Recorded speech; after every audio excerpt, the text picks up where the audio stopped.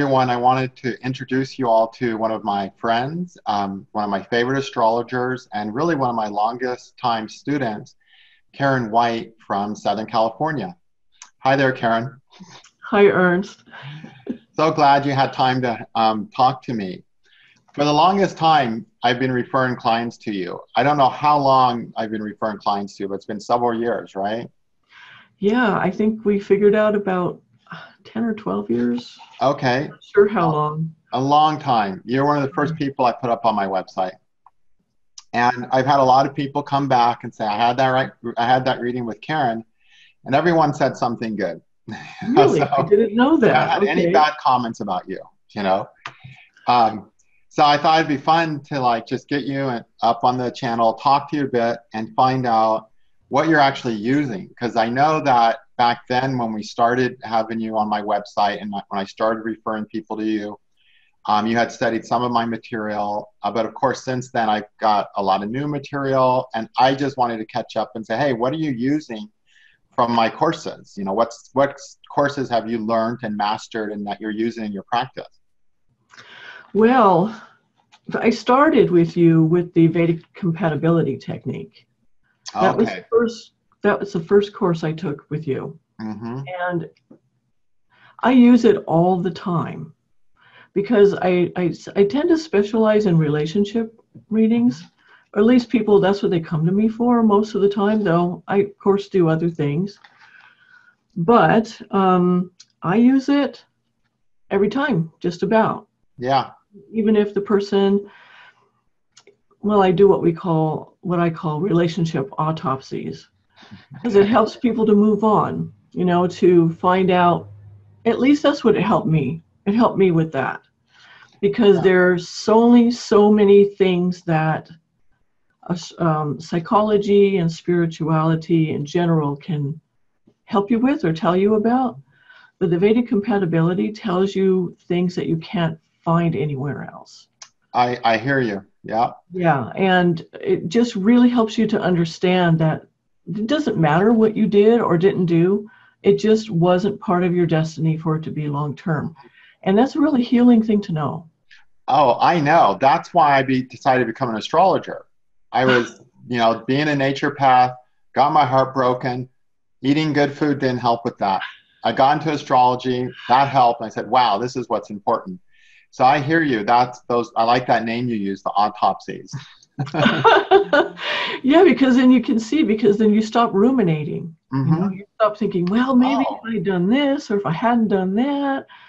I know. I know. I mean, I think I could have been making myself miserable for two years um, when that happened to me. But you know, two weeks later, I'm like, hey, I've got a great life. You know.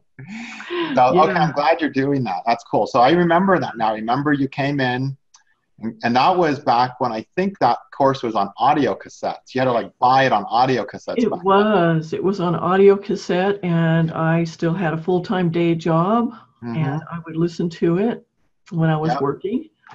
And uh, yeah, it was great. I thought it was great. And and that's really one of my favorite courses. And of all the years, all the stuff I've learned, I haven't changed that course. I haven't redone that course. It's I still sell it. It's still available because it's something that just works so well. Um, in the stories too, you know, the stories that you tell in the oh. course, they're just perfect. Okay, I don't remember those.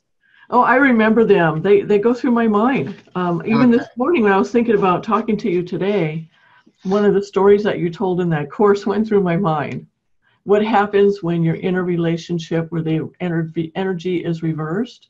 Oh, yeah. It flows from the woman to the man instead of the man to the woman. Mm-hmm. So a very colorful story around that. So I really recommend that course for sure. Yeah, that, I'm glad you're using that. Okay, and I, I know other people who are sort of like specializing on relationships with that as 50% of what they do. It's Vedic compatibility is so profound when it's done right. But I did want to mention that most people don't do it right because it's a very neglected technique It's its entirety. And um, I started teaching it as a complete technique way back in 1997. And then I finally taught the full course, um, I don't know, like 2000, 2001, something like that, which you have on, which you learned on audio. So you're one of the few people who are actually going to handle that correctly. Mm. And not just say you've got Kuja dosha, too bad. yeah, right, right. So yeah, people should definitely come to you for that. So what else are you using? Well, let me see. Um, then the next course I took with you was either Bach, the Bach flower remedies or the gemstone. Okay. Course, which was great as well. Um, and then I learned Jaimini. Now this is when you were teaching it over the phone still. Yeah. And mm-hmm. I rushed home from work to get there on time to uh, show up for the class. and I have to tell you, Jaimini, it changed my life. I would go so far as to say it changed my life as in wow. terms of being an astrologer. And not mm-hmm. only that, but my I guess you could say my my concept of reality, how things are actually structured and what's really going on. Mm-hmm. And realizing that I really don't have any idea what's really going on. Meaning that, you know, you get this idea in your head is like, well, if you're a good person and you do certain things, then, well, everything should proceed from that logically, right? Mm-hmm. Good things happen, et cetera, et cetera. But then in the Jaimini, I learned that that pirate, the um, American gangster whose name I can't remember, a couple oh, of other. Lafitte. Lafitte. Lafitte. Him and uh, uh, one of the American uh, gangsters who was so revered by the people that they actually had to sequester his his um, gravestone because people were coming and chipping it away. Mm-hmm. I can't remember his name. He ro- he robbed banks. Anyway, Gosh, and I found yeah. out that these these guys were Srimantahas, which I explained to my clients means, you know, something extra special, something beyond normal good, you know, great. Yeah. And that was like, wow, really? mm-hmm. And uh, and also too, I was just I'm very impressed with the reliability of it. I can tell just by talking to someone or watching them in a movie or a TV show or on an interview, and a few phrases that they say, I will know what their Atmakaraka is, their self-producer. Perfect look at them up online, right? Because I get curious about them. And sure enough, it's if it's not that, then it's ruled by that planet or it's mm-hmm. with that planet. Yeah. You can see it. And and also when somebody tells me what they do for a living. Or if I look at their chart first and I don't know yet what they're doing for a living, I can tell by the chart very close, if not mm-hmm. exactly right on, what they're doing for a living. Mm-hmm. That is the most reliable technique yeah. in astrology I have ever found. And I wouldn't do anything on career with anything other than that. No. And Ever. that's really one of the best things about Jaimini. Um, I remember B.V. Raman said in his book, How to Judge a Horoscope, which I, um, in volume two, he t- the first thing he talks about when trying to determine the career, he says, predicting the career is a hard nut to crack. He said, This is really hard. And if you look at the all the other astrological texts, they don't cover it. So astrologers kind of came up with this hodgepodge way of trying to do it in this modern crazy world. Right. In the old days, that you didn't. It wasn't in the old books because you're going to do what your daddy did, right? So it wasn't there. But Jaimini had it, and I remember early on. I, I mean, I remember this. Um, gosh, it's really embarrassing. There was this girl I was really attracted to, and she brought, she wanted me to read her, her brother's chart for Christmas, right? Mm-hmm. His big thing is what is he going to do? And I used the normal techniques, and Mercury came up big, and Mercury's supposed to make him like this. And I rattled off a couple things. He's like, no, I don't care about any of that stuff. Well, I said he'd be a mathematician with math and some other stuff, science. Well, he became basically this adventurer that just climbs peaks. He's a peak bagger. You know, he became this oh, wow. outdoorsy adventure guy. Mm-hmm. And he wanted to know if he'd become a guitar player. And, you know, and I totally, it was such a bad reading. It was so embarrassing to me. But that was before Jaimini, you know, BJ, you know, before right. Jaimini, right? and life changed when you learn Jaimini. Your whole astrological abilities take a level up There, there's certain things you cannot do without Jaimini. Mhm. And I think you're probably one of the longest term people who've been using the Jaimini principles the way I teach them. And as you know, I'm not in agreement with a lot of the stuff, way Jaimini stuff is done because the sutras are coded. And I really don't feel like people spend enough time trying to figure out what the sutras were really doing. Instead, they just ran over to old commentaries. They ran over to the identical corrupted stuff in Brihat Parashara and just write that down as if they translated it. And it's not even the correct translation and it doesn't work well. But when you learn it right, it can do all those things like you said. So you have it, that must have been 12, ye- 10, 12 years ago I did the Jaiminis, right? It was a while. It was a But while you've ago. got a decade or more of Jaimini sutras in the trenches. That's really great. I don't think anyone else has that much. well, I mean, there's more to anyone. learn. Now there's more because you put more up on there recently. Yeah, I have like a 90 video course on dashas or something insane like that. Yeah. Yeah, and I think you're you also went into the the deities. I did on the Vargas, yeah. And Yeah. lately, actually, just as a teaser, everybody, um, there's this very, very cool medical technique in, I think, the third chapter of Jaimini that I got into that um, basically talks about the disease happening in your forehead, in your tongue, in your eyes, in your hair. Um, you know, basically, mostly in your head area or by wild animals. Well, really, when does disease really stop in your head, right? Right. But this is a symbolic thing that really lets you get to a disease on a really deep level, but it's very symbolic. And so Uh, that's a new technique um, we've been working with that's been really profound. So Jaimini just has so many surprises. And in fact, just to brag about Jaimini more, you know, I kind of got stoned on nakshatras this last summer, you know, I, or, you know, a few months ago. I was really on this nakshatra rush because of what I was Uh-huh. working on. And all of a sudden, the things, the medical things I was striving to reach, I hit a wall. And then Mm. this, I this sutra, I remember this sutra in Jaimini, and I went and dug this sutra up, oh wow. and it changed everything. And it, it made me just go, okay, Jaimini had it right when he said, you know, Jaimini is a Rashi based system, it's a sign based system, it's not an nakshatra based system right. but it's the most profound branch of astrology and the things you can do with it are much more important and better than anything i think that can be done with nakshatras Mhm. and it really shows i think just the fact that the 12 signs of the zodiac are from india you know and i don't care what the greeks called them the indians didn't call them aries taurus gemini i don't think in the old days because jaimini doesn't call them that he makes fun of those names but um, really? yeah, he. That's why you remember how he codes the sutras, Yes. and he says he says if I say the name of the sign, ignore it, and take the number of Right. this. You know, take the letters, turn them into a number, and that will show the sign. So he'll say like, I don't know, he'll say uh, you know Sagittarius, and it turns out to be a completely different um, sign he wants you to look at. right. So he makes fun of these, you know, common names of Rashis, and he wants us to see these Rashis as mathematical things: number one, number two, number three. But anyway, so you're one of the few people that are that are that are competent in Jaimini because I have, um, you know, I'm always looking for people to send referrals to because I can't manage it. There's just too many Mhm. people with this internet world we live in, and um, the um, most of the people who studied with me way back then never became astrologers. Like they didn't become readers. Huh. Um, I would say there's one person who's a very successful reader, but she specializes um, in relationships.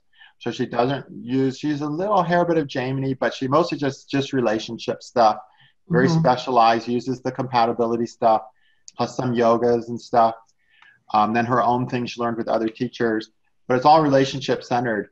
Um, and then the other person was really had a practice from back then, but then he got into, um, you know, he basically just got into translating Sanskrit and chanting Sanskrit and didn't want to do it. And then he retired, didn't want to, didn't want to study astrology in preference to Sanskrit. So Huh. you're actually the, and I say this as a compliment, the oldest one of my students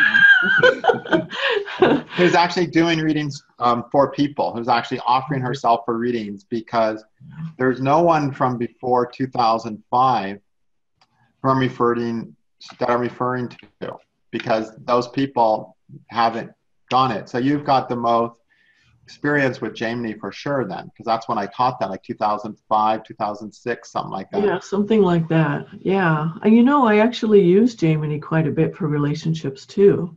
I think that when a person understands what their self producer planet is and what their spouse producer planet is, you can understand just so much about a person's worldview and mm-hmm. how they approach things and what they need and yeah. they don't like you know etc uh, it's it's very um, very useful in so many ways. It's kind of like if you were going to match people and say you're a matchmaker and you're going to say oh i know this person who's like this and i know this person who does this and is like this. You're an obvious match. Jaimini lets you do that part of the matchmaking right and then and then what you can see too in the the navamsha mm-hmm. you know the the between the two charts, the two Navamshas. Okay. It's so interesting to see how that works out. I mean, like say you, you find somebody who who's in a relationship with someone, oftentimes that person's Atmakaraka will be the other person's Darakaraka. Yeah. But other times it will show up in another way, but it will still be whatever the Darakaraka planet is, that will be prominent. Yes. One way or the other. So anyway, so I, I use Jaimini for that too. But mostly I use the Vedic compatibility technique for that. And then what I also find incredibly helpful are the Avashtas. Okay. Yeah. The, the Vedic version of psych, um, I guess you could call it psychological astrology, is so profound.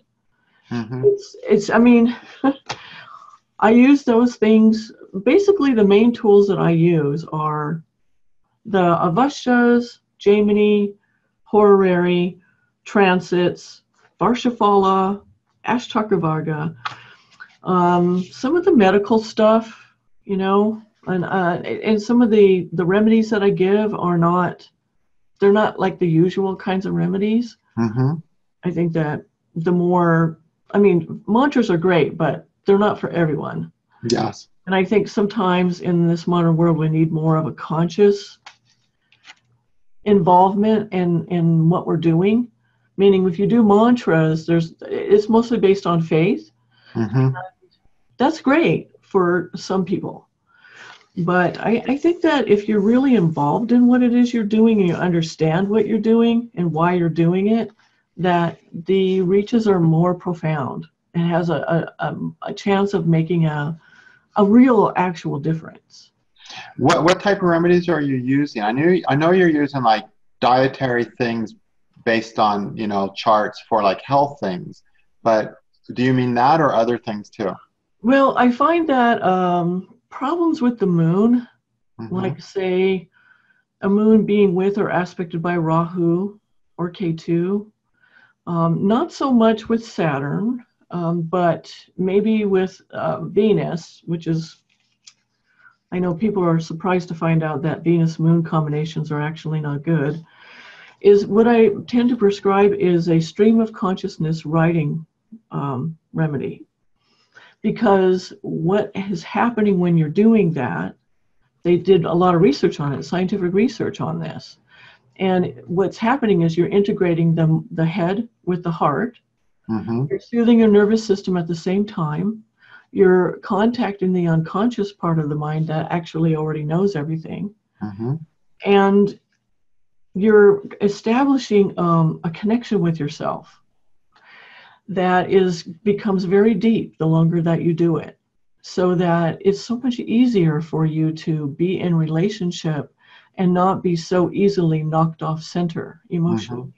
Mm-hmm. yeah. You have this place that you go on a daily basis and you do those things. You're you're connecting yourself to the divine you know to yourself to your heart and you're soothing your nervous system and creating a connection. And the reason i recommend that is because i took a course many years ago called the Artist's way and my relationship with my current husband was pretty young then and of course bringing up all my insecurities naturally and but we had to do this every day for six weeks in a row. And I did wow. And what was so impressive to me was that, say, in the morning, I would have a conversation with my husband that would, it wasn't my husband then, that would upset me, but I had to get to work, right? So we couldn't have an argument or whatever or talk about it. Um, but I would get there to work 15 minutes early because I had to to do this course, and I would write and just stream of consciousness writing, meaning not worrying about grammar, spelling, punctuation, making sense, or any of that. By the end of the day, when I left work, I couldn't even remember what I was upset about anymore. Great. So what that means is that we didn't the the young relationship wasn't burdened unnecessarily Mm-hmm. you know by baggage that you bring from the past Sure. stuff that you think you've worked out but you really actually haven't yet that kind of stuff and it was Yeah. just so impressive to me how how i felt while i was doing it so that's like one of my favorite actual okay. uh, Okay. remedies that i give for the moon Great. Yeah, and one of the things with mantras too, while they are really powerful, I think a person's heart and mind already have to be aligned to really use a mantra successfully. hmm. You know, if your heart's going one way, your mind's going another way, and you sit down and try to do a mantra, you're not going to get results from it. Hmm. You know, and we live in a very complicated, you know, time right now where people um, are all over the place. You know, part of our heart's over here, part of our mind's over here, part of our mind's over here. And I don't think we um, had that level of stress in the old days, you know. yeah. And also, I think when people are closer to nature, that when they had to walk five miles to wherever, that gave them that reflective time to sort of allow a lot of things to settle. And I think back then, people mind and heart were in a peaceful, a more peaceful place where meditating was a more simple process, where doing a mantra was more simple. Whereas now, I definitely think a lot of people need to get centered before they can even begin to meditate effectively or begin to do a mantra effectively. yeah And um, I've seen mantras work well in people who already have some centering mechanism. You know, they're already centered their focus, their hearts and mind are aligned, and they're Mhm. not going in different directions. So that Right, technique right. you are talking about, I think, you know, will help people who want to do mantras do them better, get better results with them too. Yes, exactly. Because when you're when you're writing, you you're forced to pay attention to the point of the pen on the paper. hmm You know, you can't really wander, Yeah. and you're harnessing your every thought Right. And writing it down. Yeah. Anyway, so that's one of one of the remedies that I I tend to give for moon problems. Okay. Yeah. And I recommend a lot of books, um, sometimes particular types of therapy. I mean, psychological therapy. Mhm. Sure. because I have a high opinion of therapy. I think find it very useful. Um, and sometimes coaches, you know, for like career stuff, because there are coaches out there who are doing great work in the world. hmm And I like to send my clients to a variety of people. Okay. Great. You know, Yeah. something that you said in one of the lectures on the Avastas, I used it. It was basically just the concept of um, where you're not the doer, remembering that you're not the doer. Okay. And I was doing a reading for somebody at one of the um, psychic fairs. I started doing that this past year because I, I want to get out of the house and inter, you know interact with people in my area, and it's fun. And um, I told her she was really upset about something happening at work, and I don't remember exactly what I told her, but I remember using that phrase. And we had been talking for like 15, 20 minutes before that, and at that point, she got up and she hugged me, and she Hmm. said, "That's exactly what I needed to hear." And I mentally said, "Thank you, Ernst." Yeah, and, and just to clarify for people what this strange word is, avashtas. So, oh yes, right. yeah, I'll just want to clarify that for people. Okay. So, the avashtas are um, basically an avashta is the condition. And by the avashtas, we're basically talking about the conditions of the planet. And the most important type of avashtas are the lajitadi avashtas, which means the ashamed and other conditions of the planet. So, a Mhm. planet can be ashamed, it can be proud, it can be delighted, it can be starved, it could be thirsty, or it could be agitated. And because of that, it's going to um, make a person have a certain level of fulfillment. And the I really consider the Lajitadya Avastas the heart of the Parashara system of astrology. And in my mind, if someone says they're doing Parashara astrology and they're not doing the Lajitadya Avastas, they're not doing Parashara astrology. It's really the backbone of it. But the great thing about it is that it's so human. So if you think of how we work as people, we work with our friends and we we get problems with our enemies, right? Yeah. You know, and like so right now me and Karen are working with each other because we're friends, right? I wouldn't have Karen if she wasn't if she I hated her, right? Right. Or vice versa. She wouldn't have showed up if she hated me. So so much of what's going on in our life is based on the people we naturally want to do something with, the people we don't want to do things with, but maybe have to sometimes. And those that's just part of being human, right? Mm-hmm. But all that's reflected in the chart, in that planets are friends or enemies to each other too. And certain planets get stuck next to each other in the chart and they might be enemies next to each other. That's the same with like having to travel across the country with somebody you hate in the car. You know, it's like it's going to be a brutal trip. And so these um, relationships of the planets, their friends and enmities of the planets, creates the majority of these Lajitadya Avastas. And it so as a result, it really spells out how our life ends up working because we work on that same level of friends and enemies or things I like and, and that I don't like, things I can do or can't do. And they really show the picture of, um, of how a person feels. When I, I first taught that course, a basic course, um, must have been five years ago, I'm guessing. It might have been more. Was it that long ago? It was at least four years ago. I think it was five years ago, maybe even six. It was a long time ago. No. The first one. um, I have to look at the video, see if they're in my old mm-hmm. house or my new house. But um, I taught a new course, of course, last year, a year ago exactly. Um, that was expanded with a lot more interpretation. And um, those you know, when I first taught it, though, I had several people, you know, different people say, this is the missing link in astrology. You know, literally people who'd been learning astrology for 30 years said this is the missing link, meaning they'd be looking at charts and they, they would know something about the person. They would know something, but they just couldn't find it in the chart or they would miss things. And this technique made filled all those gaps, you know. It's really the critical part of astrology. Yes and it's it's funny too because uh, it, that's another way that everything comes down to relationships. Even it the does. planets have relationships with each other. Even planets do, yeah. Right. Um, so Varshafala is something that I use a lot too. Okay. Yeah. The yearly, um, the yearly reading, you know, on your birthday. Yeah. So it's just, just to clarify, Varshafala means the results of the year which means your solar return chart, as it's called in the West. But it, it happens once a year, you get a new chart that's devoted to that year. Exactly. And what I really like about it, because when I was in Western astrology, I learned solar return technique. Mm-hmm.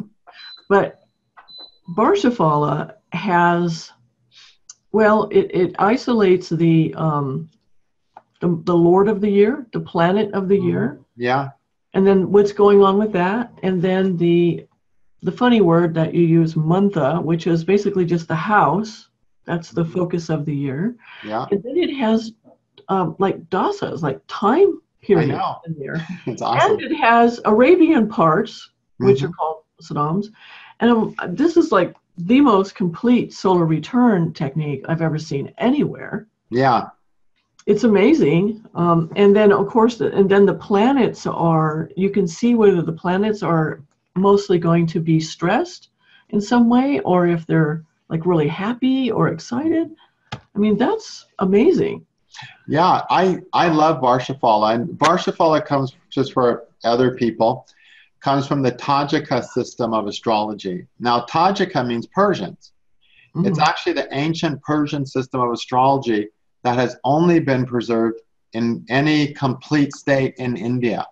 So we owe India for preserving Parashara astrology, for preserving Jaimini astrology, for preserving Tajika Persian astrology, and lots of other types too. Like go to South India, you got a whole nother um, ocean to swim into, you know, with like the all the prashna, crazy prashna stuff they have in there.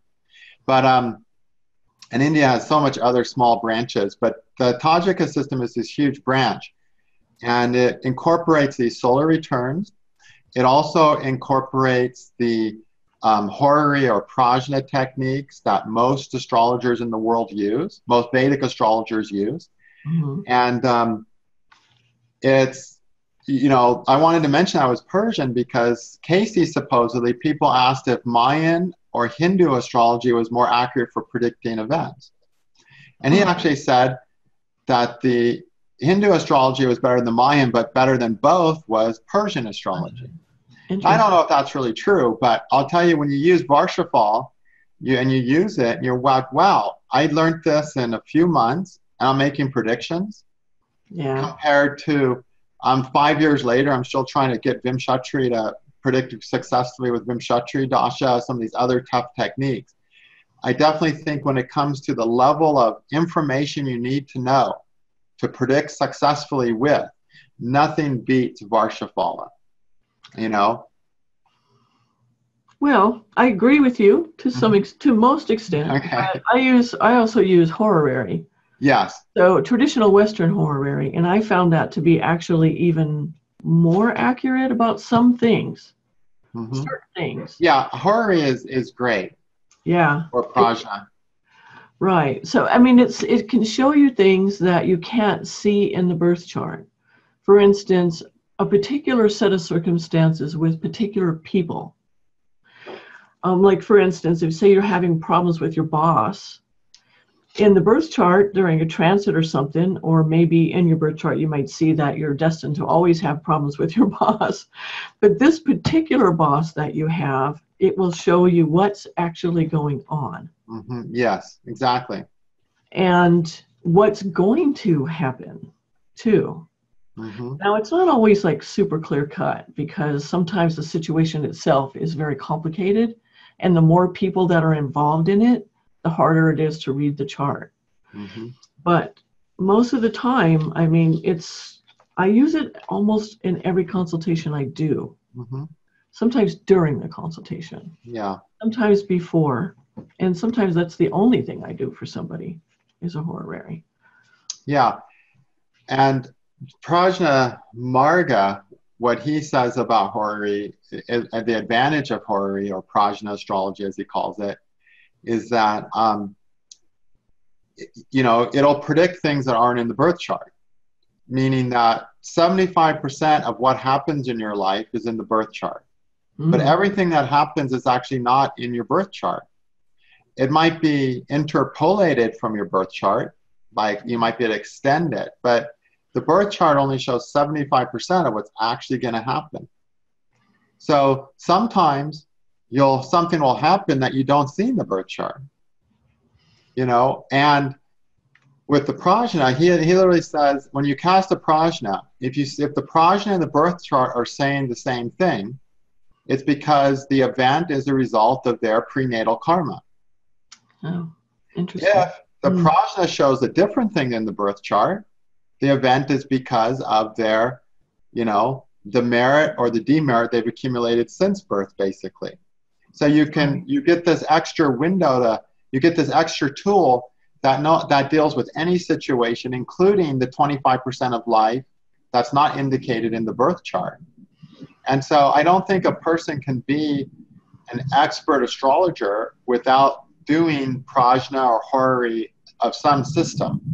And of course, the Tajika system that uses the Varshafal has a vast system of horary that's so similar to the Tajik Tajika Varshav, you know, the solar returns that you kind of can learn them together. And then mm-hmm. the Western Horary, Horary you have has some similarities to that, but has a lot of extra things that we don't see in the Tajika Horary. There's all these other goodies to work with. Right, and vice versa. Sometimes I'll do a horary chart mm-hmm. and it's not cooperating entirely, right? And then I'll do the same chart in Varshafala because it will show me what's going on with it'll just show other things that you can't see so easily because of the way the information is organized. You know, the horary that I do is Western. Yes, it's So- Western traditional, which is based on Persian, though, and very close to the Yeah. System. That's true. So, so the Varshafala is the closest to it. Yes, exactly. Yeah, and then sometimes I'll even put it into the Partakala, which is your software, um, the um, Prashna part, just Yeah. to see what else it may have to say. Okay. Yeah, because there are certain kinds of things that are very difficult to do, I think, in absolutely any technique. Like, for instance, finding missing people, Yeah. finding missing objects, for instance. Those are really difficult to do. Sometimes they work spectacularly, hmm and it makes you feel great, you know. But what I wanted to say about horary that I find so amazing is that you can do really the types of things that are really hard to see in the birth chart, like death, for instance. Yeah. Not that I like doing those those charts, but sometimes a person has a really good reason for wanting to know something like that, and the horary always shows it because it's so concretely based. hmm It's very concrete Yeah. and uh, but yet it can also be abstract and spiritual and you know just like Jaimini and just Yeah. like the Avasthas, right? It'll be what the person needs, I think, more than anything else we can do. You're right. Yeah. So that's good. I know a lot of people, um, you know, people tend to specialize more in natal astrology.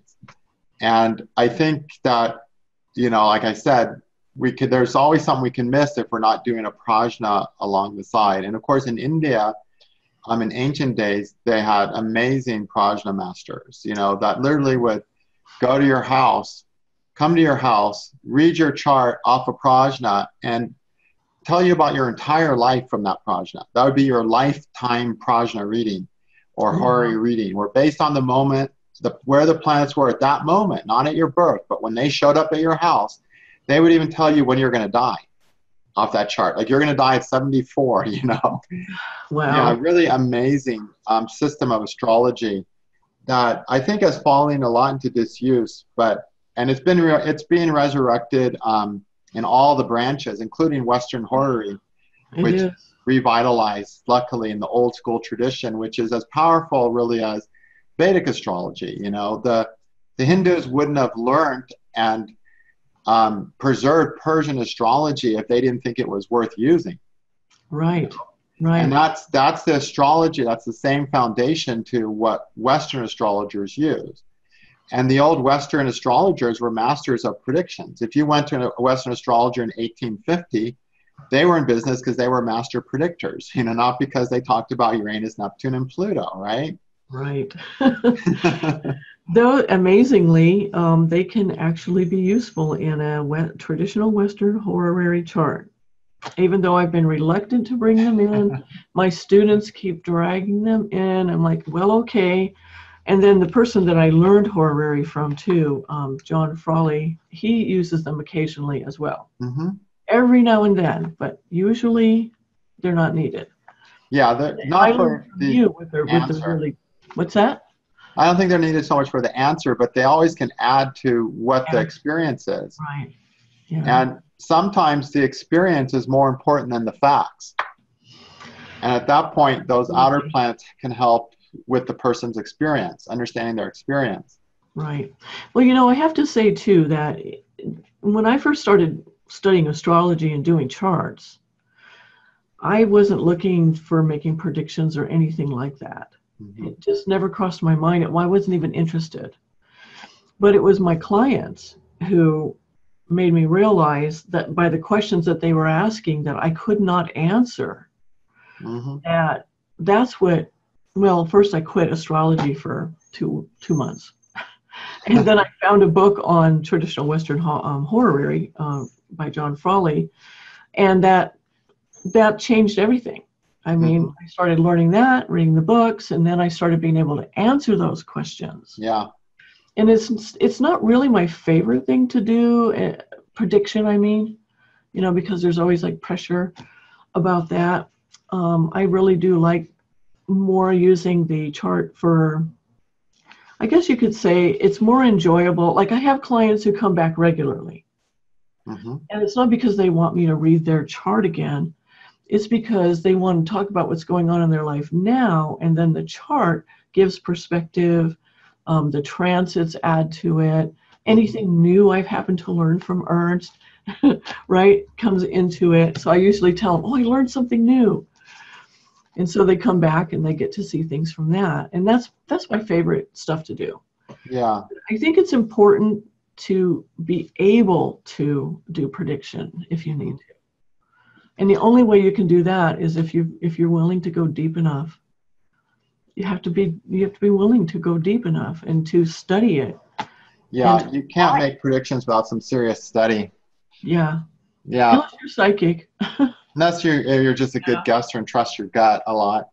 You Yeah. know. But um, one thing about predictions is that I find that predicting the past is usually more useful than predicting the future. Hmm. and in the context of the human experience. I've had so many people that come in, I look at their chart and I say, Oh, you got divorced last year. And all of a sudden they stand up straighter, you know, all this weight and you know, they're basically making themselves sick because they couldn't live with their spouse and now they feel so torn about having to get divorced or maybe their spouse divorced them, got rid kicked them out, whatever and they tried everything but they couldn't succeed but they're still carrying all this guilt with them and they walk in and i say wow it looks like you got divorced last year and all that guilt is gone it's like this huge Yeah. healing in one prediction right. whereas if you predict oh you're going to get divorced in next year you do the very opposite you, you know what i mean Yeah. right, and right. so i really like making predictions about the past because i find them so helpful and you know, so healing through the people. Whereas the pres predicting about the future, more often than not, is not exactly what the person wants. You know, if I say, yeah, you'll fall in love in two years, they're like, two years, I know. you know, and I'm like, True. well, I could have said never, you know. So, but two years seems like millions of years away, you know, to people. And so they even know that's a great prediction to look forward to. The mere fact that it's two years away makes it a horrible prediction for a person to have to hear. So I, I don't know. I don't think most people are really ready to hear about any predictions beyond a year. You know, okay, are am I going to get married? Let me look if you're going to get married this year. Okay, yes or no. But if we say yes, you'll get married in four years, that can be too much for people to handle lots of times. This is true. And uh, even even people who are pretty young. Yeah, you got to like have a flask of alcohol and, and Kleenex and God knows what else to get them through the reading if you do that sometimes, right? That's pretty funny. Well, then I do what my husband suggests, the beginner reading with. I, I told this to Ryan too. He says, Well, you just start the reading by saying, You're going to die someday. And then that automatically puts everything to- into perspective.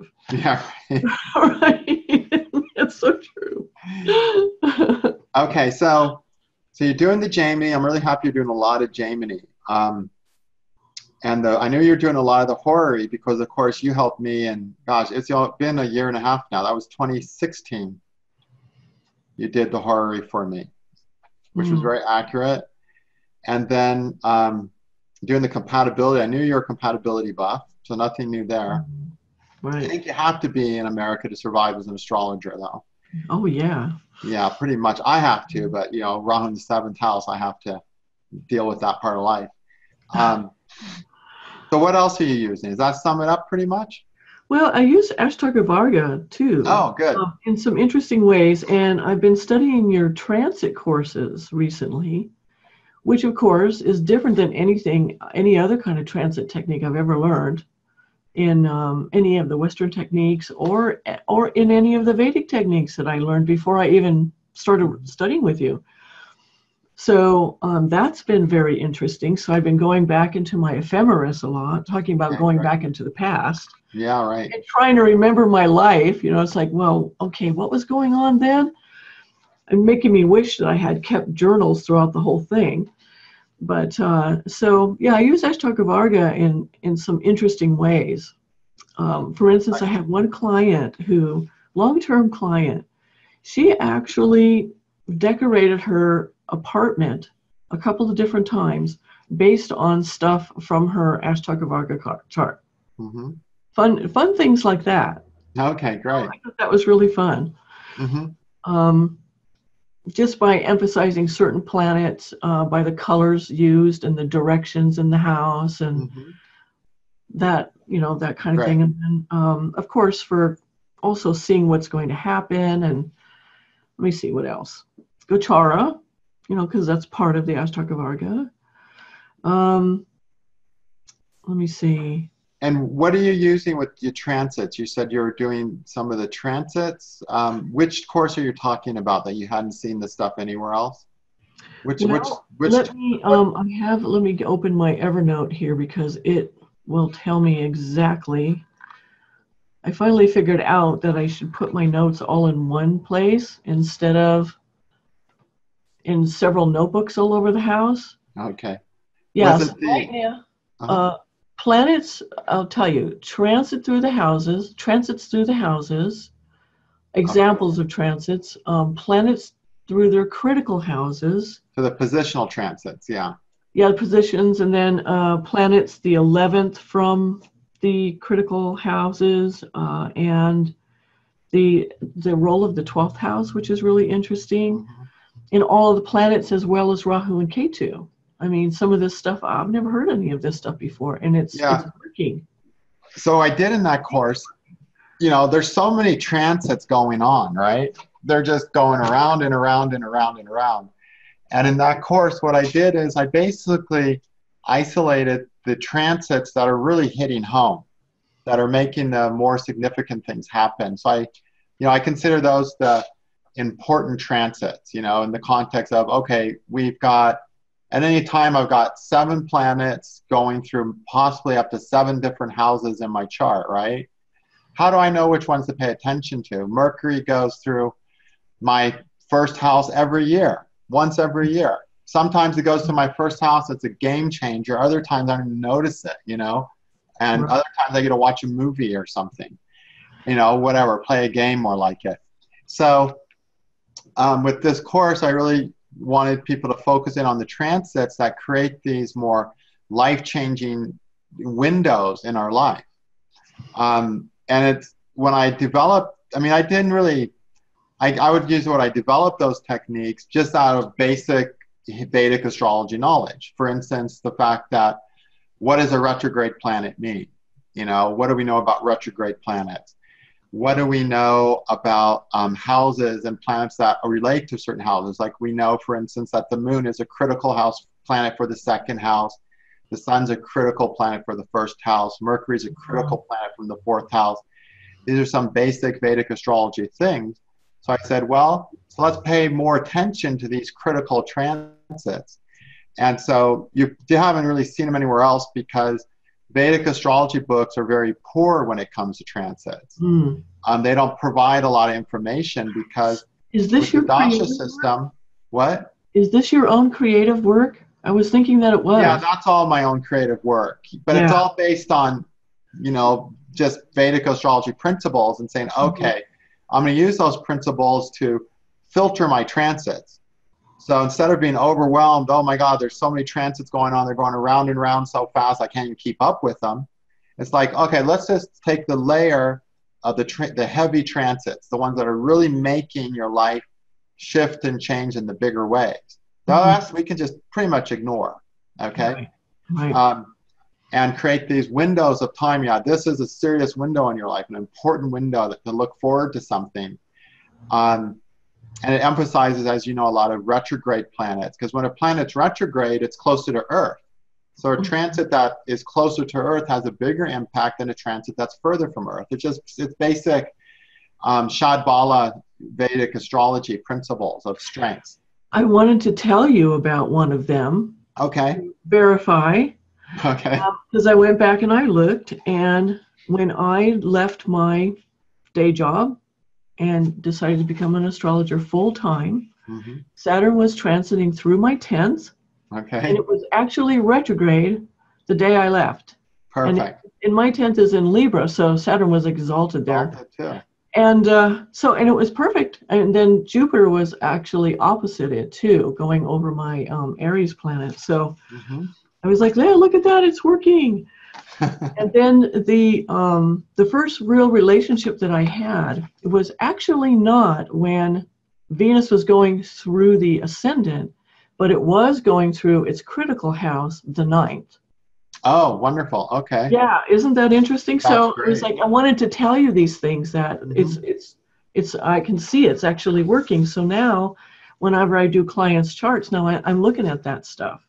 Cool. You know, yeah, it's, it's ignoring the transits. Yeah. Yeah, transits are really powerful, and I think in Indian astrology they've been neglected because the just the cumbersomeness of using transits. You know, and a good, a skilled astrologer in the old days, in five minutes, could calculate your dashas and antardashas for your entire life. In five minutes, he could have that written out. Mm. And so we've got these dashas and antardashas that we can really quickly work out for the entirety of a person's life. And next time they come, they can bring that, and we only have to do those five minutes. Um, but when it comes to transits, it's like, okay, where are transits going to be in 10 years? And now I have to calculate that out. Oh, painfully. You know, it's like, wow, what a pain. So, you know, um, these days we're fortunate with computers. We can see right where the transits are anytime, at, you know, up to 5,400 AD. You know, we could predict where the transits are with no work at all. So then it really allows us to use them more. And what I like about transits, transits are way less failable than dashas are dashas, because they're such a simple technique to calculate, their level of accuracy is not as solid, I think, as the transits. You know, they're very solid, they're very concrete, but it's easy to get lost in the woods because there's so many, and then yeah. it's difficult to calculate them all. Right. But with computers, really, we can use transits to a higher advantage now than we ever could. Mm-hmm. And when I mm-hmm. was developing those techniques, I was like blown away with how good they were working. You know, I was looking at charts with past events. I was like, wow, because I created these theories based on it was just a natural understanding of Vedic astrology says this should work. Right. And I went and tried it. I was like, wow, and not only should it work, it works extraordinarily well. Yeah. And it's easy. It's hard to calculate it, but I don't have to. I just push a button on the computer and it's there, you know. Thank God. So it's I teach that. I also recommend those. Um, I think I just taught those like three years ago. That was 2015. I taught that course, um, or 2014, three years ago. And I really recommend that as one of the beginner courses. Yeah, learn those positional transits before dashas, you know, because you'll be able to do some great work with those um, with a lot less pain and suffering than you're going to have to do to learn to use the dashas well. Right, right. You know, I'm remembering other things that I've studied too with you. I, I, I wrote a list before we started talking, but talking to you, now I'm remembering stuff. Okay. Like, for instance, Shadbala. Yeah. You know, it seems like most of astrology is just various ways of evaluating the planets and their relationships to each other. Mm-hmm. Wouldn't you say that that's pretty a lot much? of it is, yeah. Yeah. So Shadbala um, is another one, um, which I remember. What I remember about it most is that it means that my Venus and my Moon are actually in better condition than I thought. So, yeah. of course, that's the kind of stuff you remember, right? Yeah, it's always oh, chart. It's like, oh, my Moon has been redeemed. right. Yeah, those those astronomical principles that incorporate Shadbala that Parashara gives. I mean, those are profound principles.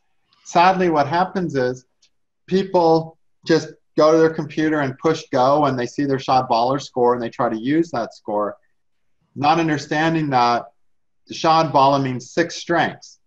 So it's actually accumulation of six different strengths. But each of those strengths has its own specific effect. And what are those specific effects? We understand by understanding the astronomy. By mm. saying astronomically, what's the picture? And then we say, let's take that picture down to my life and see how it affects me. And it's a, it's a direct connection between the astronomy and what how we're behaving, what we're experiencing. It's a great technique. And that's one of my favorite all-time courses. I taught that course, gosh, probably around 2004 or something. It was 2005, long ago. long ago. But a lot of people back then were when they took that course. Um, actually, my top student back then um, was a guy who died, unfortunately, like 42. That was really sad. He was just flying with yeah. astrology, just picked it up like nothing. Right. Um, but he was doing Shad Bala only readings where people are just coming to have 90 minute Shad Bala reading. And other people have done that as well. It's that powerful that you could spend so yeah. much time just looking at a person's mathematical astrology, basically. Right, which is why my readings tend to go on so long. I know it's dangerous. To. There's so much to talk about. It's amazing. Mm-hmm. You know, the other thing too that I learned from you um, that actually drove me crazy for years and years and that is everybody I ever studied with could never tell me why they were using the house system they were using. Usually the answer was, well, because I learned it from my teacher. Mm-hmm. And but you actually teach why you're using the house systems that you're using for the techniques that you're using. And now I know I'll never use Placidus houses again for anything. Yeah. And why Regiomontanus house system ha- was even more verified as the system to use for something concretely based like horary. And so that was a big thing. Mm-hmm. And the other thing I want to know, since I have you here, is I'd like to ask you a question about okay, so Avasthas, Shadbala, the um, let me see. Yeah, the various ways of evaluating the planets and then what that means if you can, in just a short period of time, I might be asking you too big of a question, but like, what would you say was the main difference between like the Avasthas and the Shadbala and the other ways of evaluating the planets and how that actually relates to a person concretely? Okay, gotcha.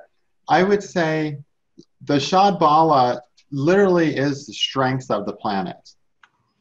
How much a planet can do in a certain area. And there's, there's of course, as you know, just for other people, so they for their information. In the Shadbalas we have six strengths and then the accumulative strengths.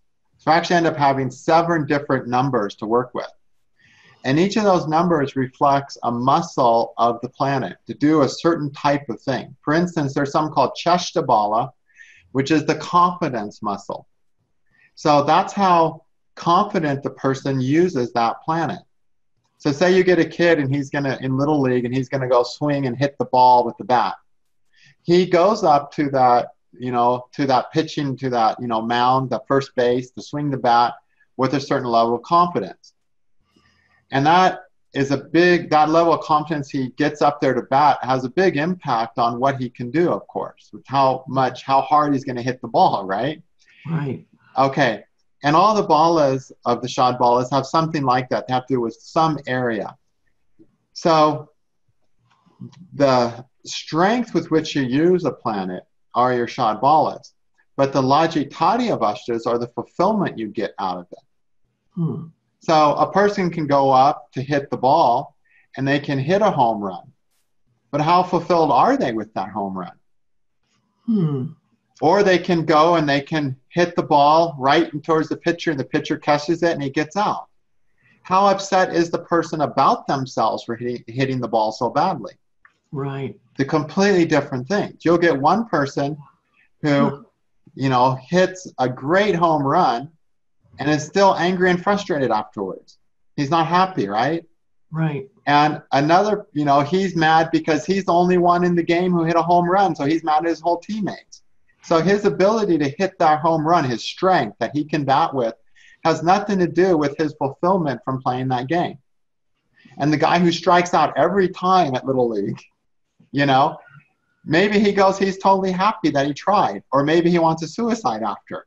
That has nothing to do with how good of a batter he is. That has to do with his level of fulfillment. That's the Lajjitadi Avasthas. So it's the same way. It's like you can go bench press I could bench press 500. Oh, I really want to do 600. I'm so depressed. Or, wow, I did 20. Wow, that was that felt good. It feels good to move 20. I feel happy, you know? Yeah. So it's more about the fulfillment. So they're very different. Strength is not fulfillment. Power is not fulfillment. The amount of dollars in your bank account is not fulfillment, right? That is so true. You know, I've something I've started doing um, in the last six months or so is focusing more on Venus, the planet of fulfillment, Mm-hmm. path to fulfillment, and then how that works together with the moon and how that you perceive what your life is. Like you're saying, Mm-hmm. just because you can do things doesn't mean you're going to get anything in any kind of fulfillment out of it. So, Yeah. yeah, and I'm, I'm even putting together a course on it. Oh, good. Yeah, just about mostly. I'm still debating whether or not to put the moon and Venus together in one course Mhm. or to keep them separate, but they work together. And so, Yeah, the they do. two feminine energy planets. hmm It's hard about to talk about the one and not bring the other one in eventually. Yeah, so I'll probably have to keep them, put them in the same, you know, course, just because you did that in Shadbala. That was the thing that really stood out in my memory of taking the class hmm was how if your moon is weak but your Venus is good, then it can help make up for it, Yeah. and vice versa. Mhm. You know, really good stuff to know. Yeah, and all that stuff again is just in the mathematics of the Shadbala. Parashar tells us how to do astrology with math by saying, okay, these are the mathematical, you know, things we do, Yeah. and this is how I'm teaching you astronomy. He tells us that in math, so it's really a beautiful way to learn astrology. Um, and and the Shadbala has a big part of that. So you're using pretty much, I'd pretty much say you're pretty much using what I use. You know, I use my Jaimini, I use my Lajjitadi Avasthas all the time.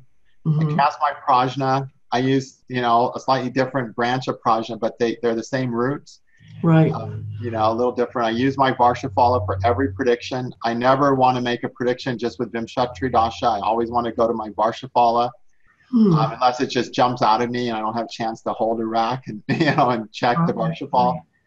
And because I know I've taught a lot of things that I don't use in the past. You know, in the past, I taught a lot of things that I don't use anymore in preference to basically those things. So you're finding the same techniques to be ones you love the most too, it sounds they're like. they're like essential tools essential tools and you know one of the other things too I, I i learned is that like say sometimes a person will come to me and they only just want a horary and they want to know if they're ever going to get married for instance.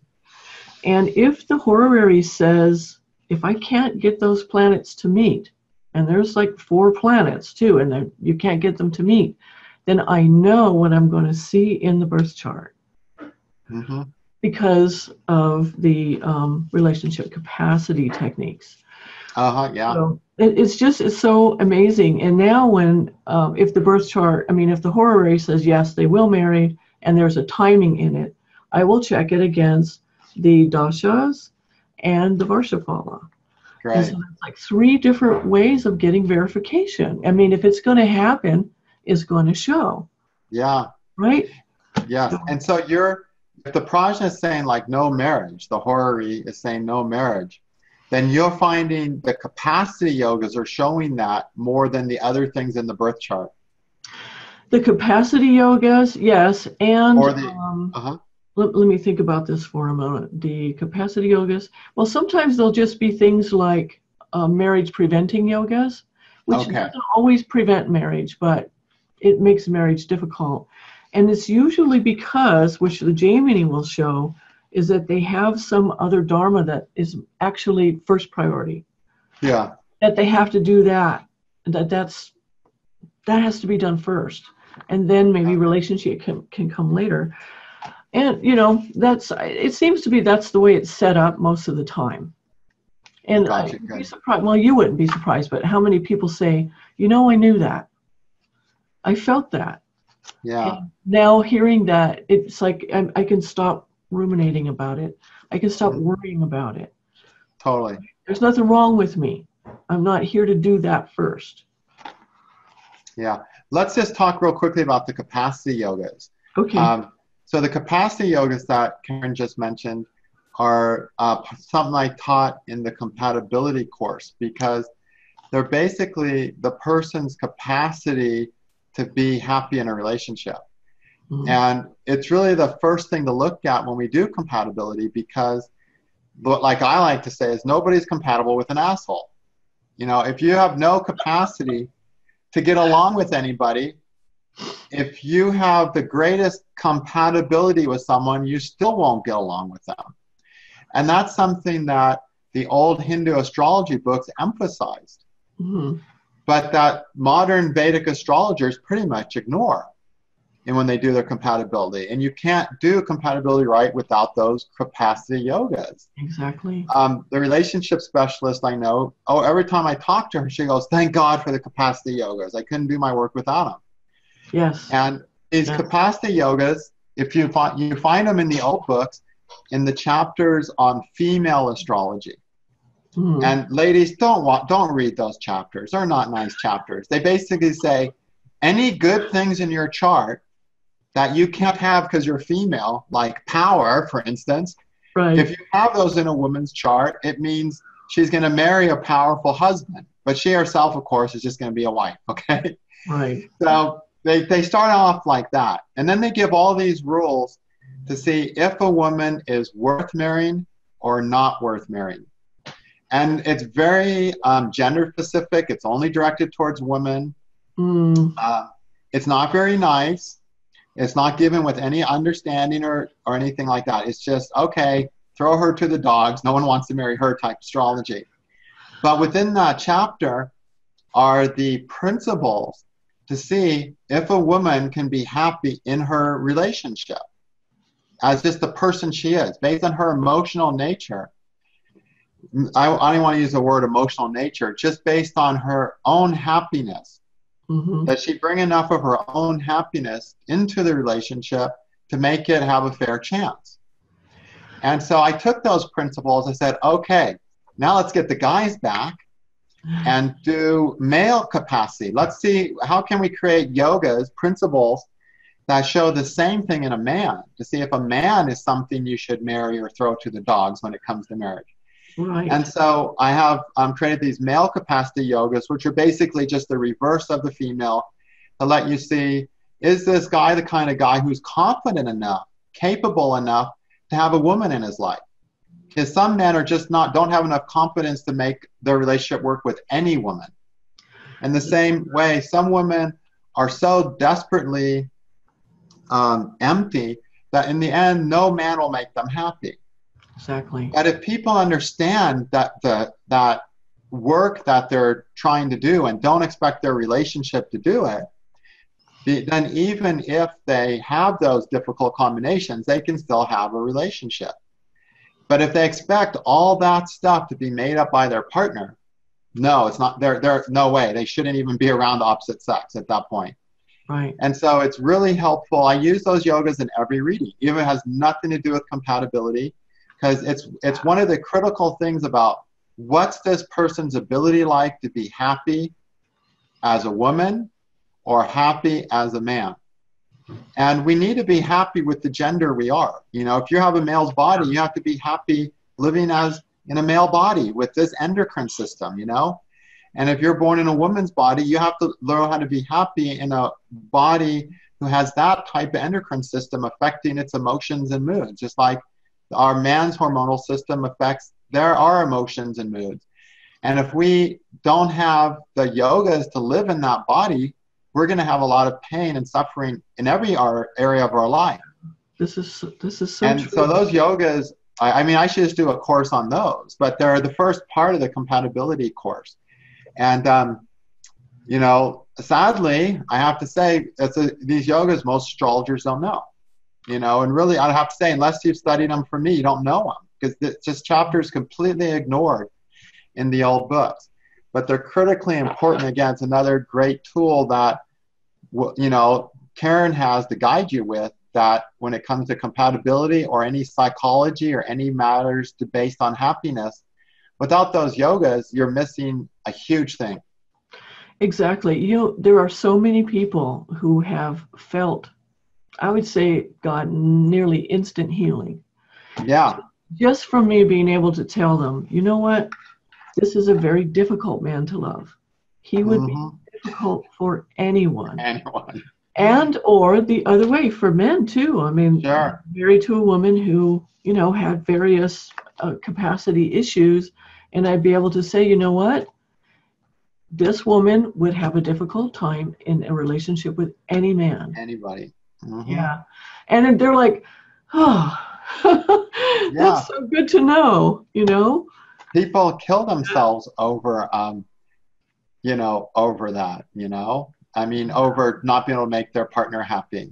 A, a lot of sensitive people literally kill themselves, you know, literally, you know, beat themselves up daily Right. that they're not able to make their grumpy spouse happy, you know? exactly. and now we can tell you why. We just need to see those capacity yogas, basically. Right. And and sometimes I think that just understanding that about your partner, Mhm. it helps you to just do the part where you just accept them the way that they are. Because it's when you want something different from them, that's Yeah. when you're unhappy. Oh, I, I had an example once where someone, uh, a, a woman close to me, uh, you know, who I knew very well, I hadn't talked to in like a year, and I, I just got out of the ashram and I was just starting my Vedic astrology practice. And she said, Guess what? And I cast a Prashna chart. I said, You met a guy three days ago.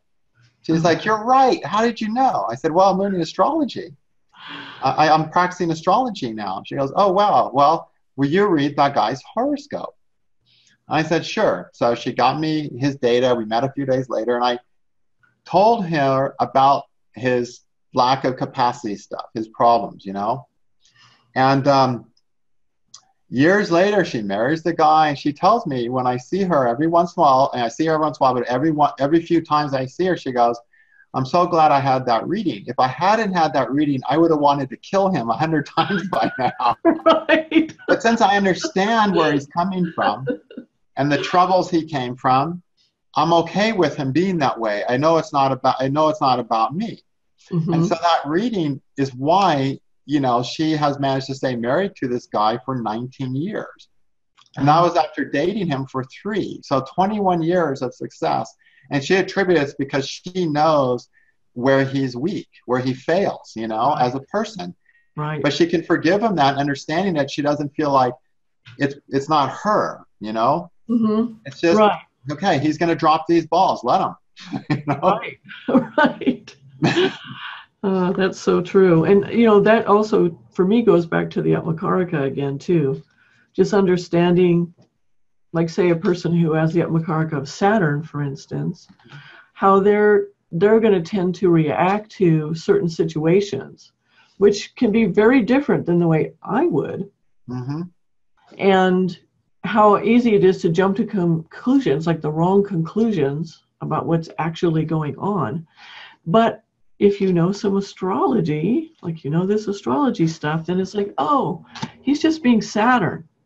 That's all. Exactly looking, looking through the lens of Saturn. that's how they are Yeah, You know- and that's okay. a few years ago i was teaching martial arts at the charter school my kids were going to for their pe class and um, they were doing greek studies so they invited me in to talk about astrology and the greek gods a little bit. So i tried remembering about those greek dudes and went and talked about astrology and the kids loved it. And they actually wanted to have an astrology club after school. And the, the principal was behind it. Unfortunately other people weren't so we weren't able to do it. But when i was thinking about well what am i going to teach these kids? I thought that's what i'm going to teach them what their makaraka is You did this? Wow. no i wanted to I, at the Oh, end oh, oh. finally the principal said you know what i'm not going to be able to let you do it because then so and so on the board is going to want to do a christian after school club and this because they're going to see it as religion oh, not as, as, as science he right. said it would cause too much trouble, but he was really into it. But I was thinking, what will I teach these kids? I said, well, wouldn't it be cool if they just knew what their Atmakaraka was?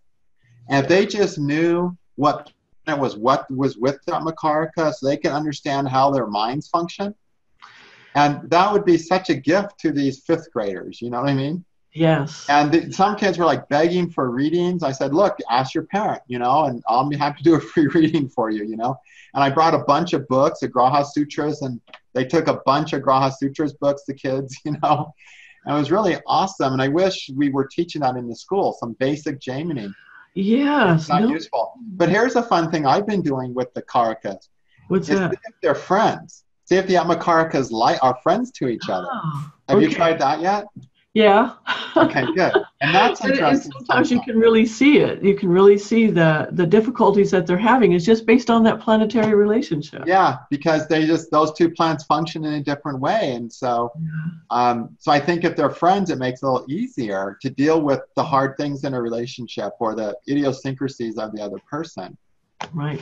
Is it? I don't know if it's okay to mention this in this interview or not, but about the Atmakaraka, um, Ryan Kurczak and I a couple of summers ago taught a class on the Atmakaraka, and so there's these scripts that I wrote beforehand, and now Mhm. I'm editing them, and we're going to put it into a book so that people will be able to use this information with raising their children awesome. understanding their spouses, understanding their coworkers and their boss.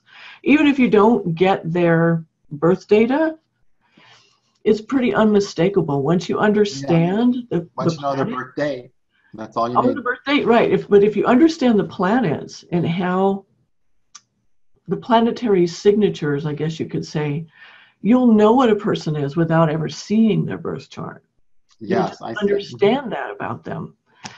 And so, anyway, I just found that to be one of the most effective and amazing things from the Jaimini technique. And it's just only one small part of Jaimini. I mean, it's Yeah. crucial to Jaimini, but that's the first thing I look at when I look at a chart.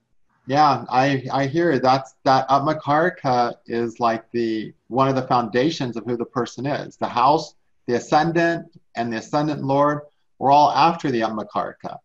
The Atmakaraka is the first step of who the person is. Everything else they are builds on that foundation of that Atmakaraka planet. Right. So it, it's really important. And some of the stuff's so fun. Like they say, if you're Atmakaraka is with the sun, you'll use a sword in battle.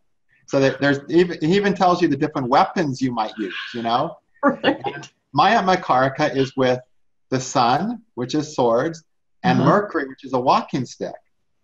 Right. And those were my two favorite weapons when I did martial arts. Uh-huh. And since my son's exalted, I was unnaturally good with the sword. Like I just picked up the sword, started winning sword fights.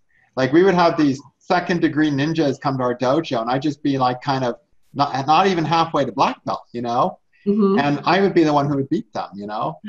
And Right. and with sticks, I like sticks a lot because my mercury is not so strong though. Yeah, Uh-huh. sticks I was nothing special, you know? Right. but like swords worked for me.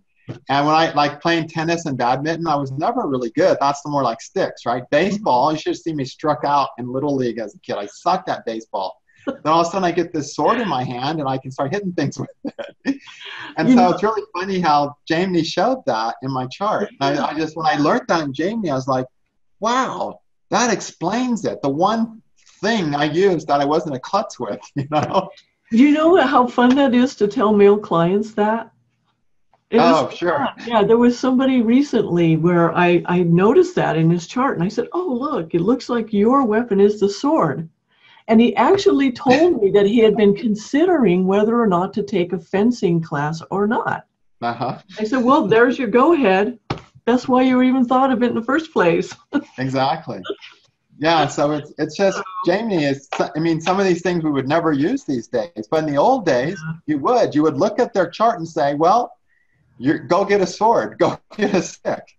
You know, Yeah. get your weapon of choice. But don't you think this is something that most men think about at some point in time in their life? I mean, considering that they're usually eligible to be drafted into the military, boys, men, they're much more likely to be in, drawn into something like that. Yeah, And so that's so. why they're always really interested. Really? My chart says that? But yeah, I think it's, it's That is so amazing. I, I think it's a Yeah. good thing, and also in the Jaimini sutras, of course, I taught the symbolic thing behind that weapon. So even if we're not fighting with weapons, we still have conflicts in our life. And so a person with a certain um, weapon, they're going to fight with that weapon, symbolically speaking.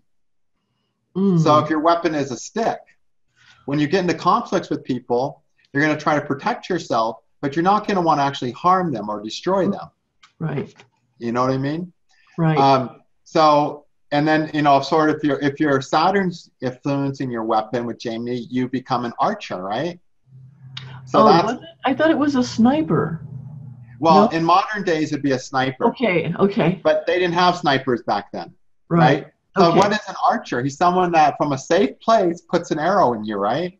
Right. So it's like it so someone who's got Saturn with their Atmakaraka, especially in the Navamsha, their approach to fighting is going to be an archer.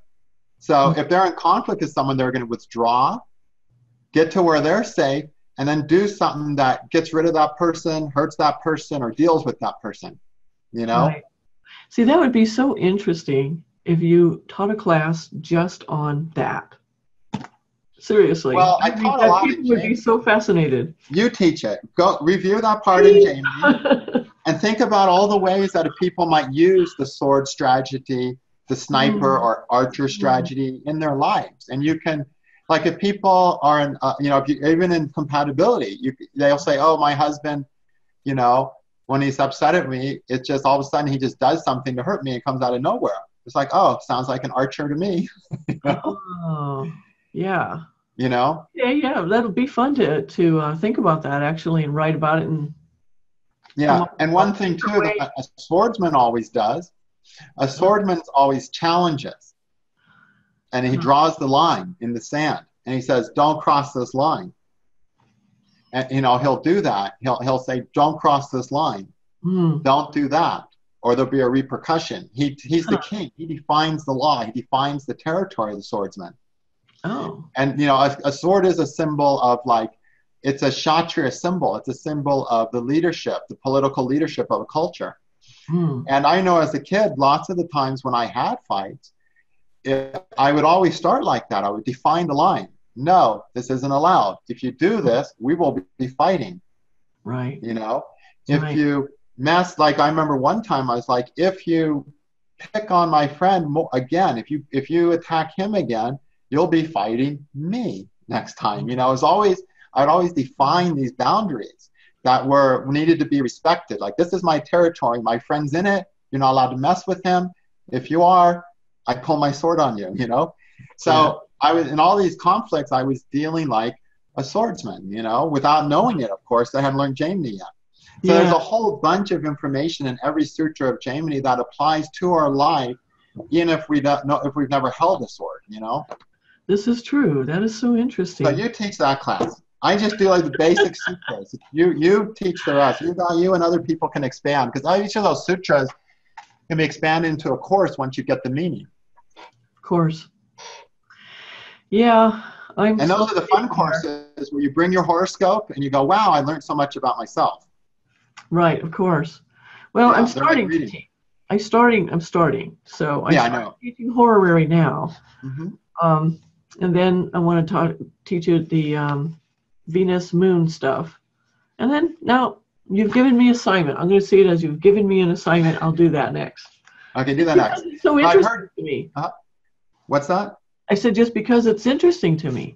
Yeah, it's very interesting what we can do at Jaimini. And, and every time I open my Jaimini Sutras book, which I do quite regularly, you know, Hmm. there's always another level to go to, another greater level of understanding, another, uh, you know, you get the deeper idea of the what you can do with that with that um, little technique, that little sutra, and Right. it's really never ending. Jaimini is fantastic. As much as I like everything else, I definitely consider Jaimini you know, the highest branch of astrology we have, I think. And I mean, it's hard to say. I love Lavash, uh, so much. Yeah, Between Jaimini and Avasthas, if I only can learn two things, it'd be those two things. I have to agree. I, I see Jaimini as being kind of on the pinnacle. It's Yeah. definitely just because it's just so amazing, and the fact that you spent two years figuring it out. I No, no, Just- that was that was like one sutra. one sutra. Oh There my was god. one sutra it took me two years to figure out. Okay, There's- that's being dogged. Oh, see the Jaimini, see the way Jaimini is just for other people. The sutras are written in coded Sanskrit. Hmm. And until you know the meaning of the sutra, you don't know the meaning of the sutra, no matter how many times you read it. And there'd be times I'd spend three days ignoring my wife, like just buried in Jaimini Sutras, drive myself crazy. To the end of three days, finally something that would make me stop. Usually I had a reading or something, but I, I sometimes get a break where for three days I wouldn't have a reading. hmm I would go into Jaimini Sutras, and once I started, until something forced me out, like the house burning, I couldn't stop.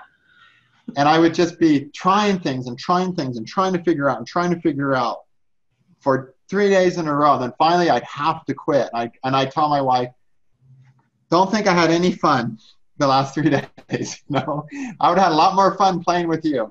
Yeah. But you know, I just got sucked into those sutras and churned up and spit out, and I don't know what the hell I'm doing. I didn't learn a single thing. I just drove myself crazy for three days right. trying to figure out what Jaimini's trying to tell me.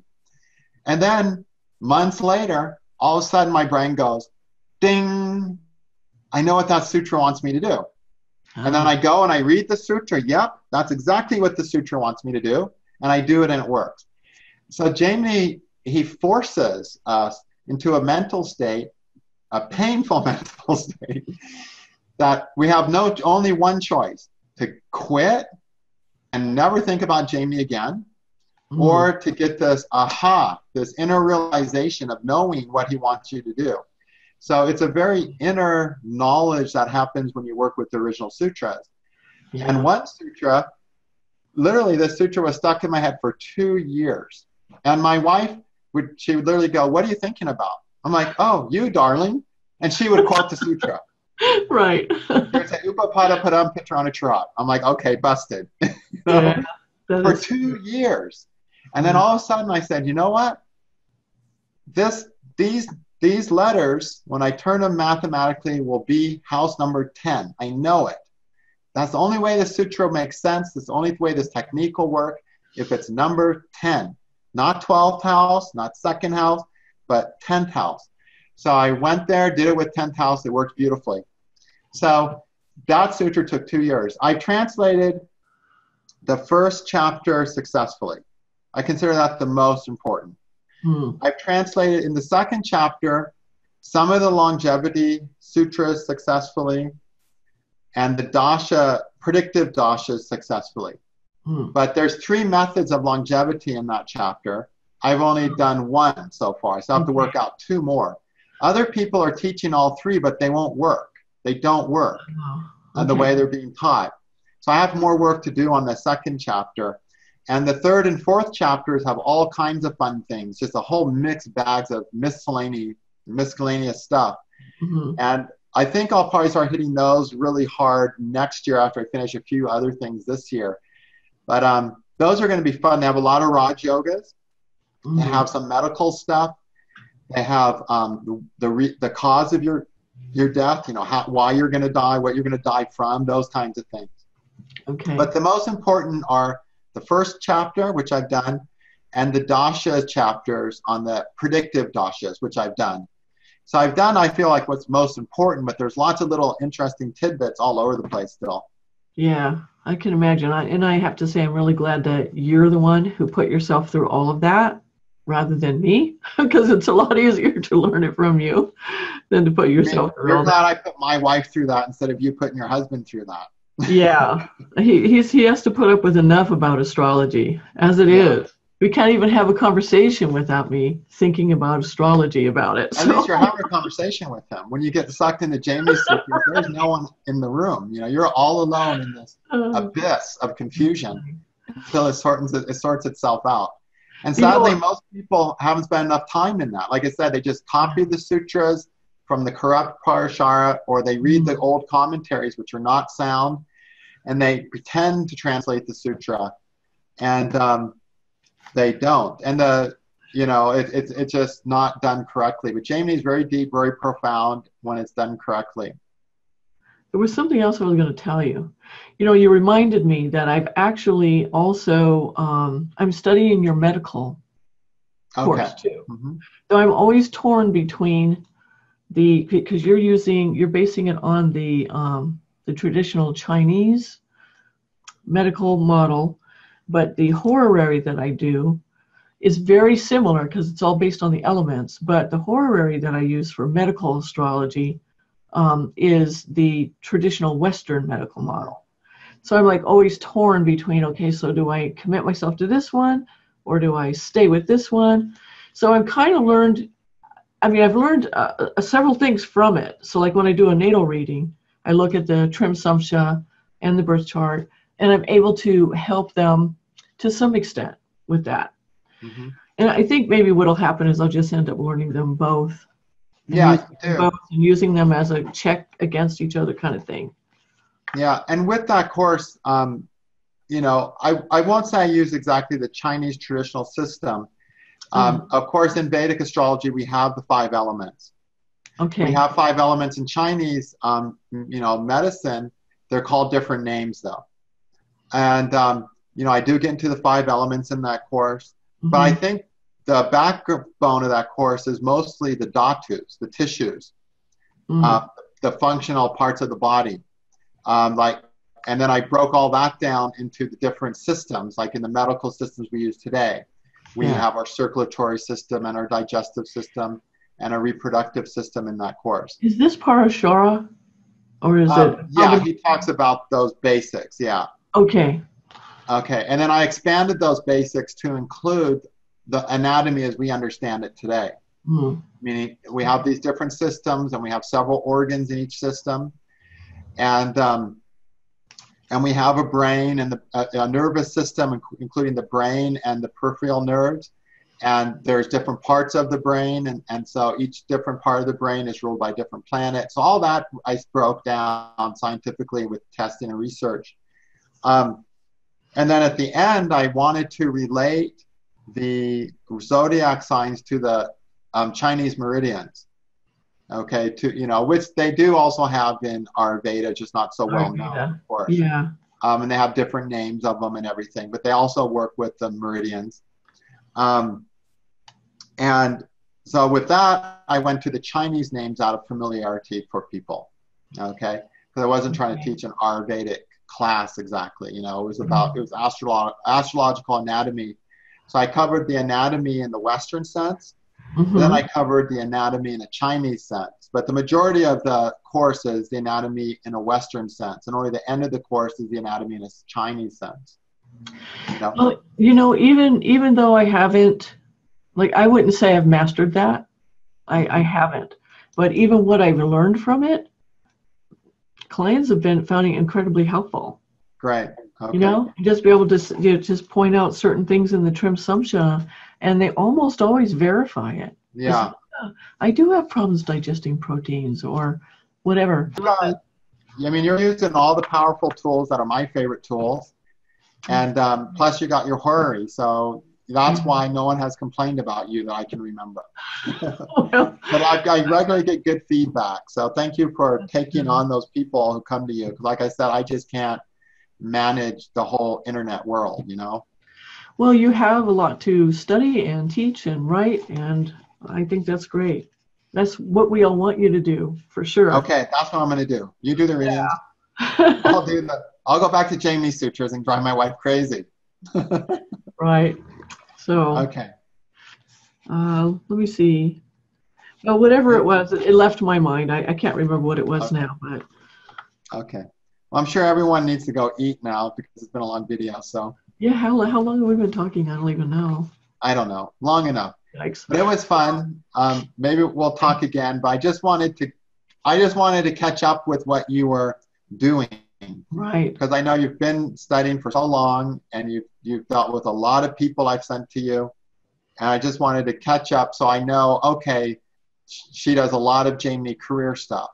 Mm, Um, in fact, I didn't know you did so much Jaimini career stuff. So I'm glad I know that because I people ask me all the time, "What about career?" And I go, "Gosh, who do I know who's done a lot of Jaimini?" And most Right. of my students who've done years and years of Jaimini, you know, from back in back, you know, when I taught Yeah. that course, have not become professional astrologers. You know, they've gone to other Mm, ways, or sadly, like I said, one person even unfortunately passed away. right. Um, so it's good to know that you've done a lot of that. It's always those two things. And I recommend people to you all the time for relationships because I Mhm. know you've done a lot of that. Yeah. Uh, and then for the horary and the medical, I've been recommending you people. oh. Um, so, but with Jaimini, I didn't know you're doing that much. So thanks. And I actually, when I went to your website last week, I saw you had it there and I got really excited about it. So, oh, really? Oh, okay, good. Wow. Yeah, no, it's great. Those are the two main things that people come to astrologers for, right? Love and money. I mean, yeah, or love, career, money. yeah. Yeah, it's true. So Jaimini's great for that. Yeah. You need the Jaimini for the men and the compatibility for the woman. That's right. That's great. Okay, well, good talking to you. You take care. Yeah, you too, Ernst. Bye bye. Okay, bye.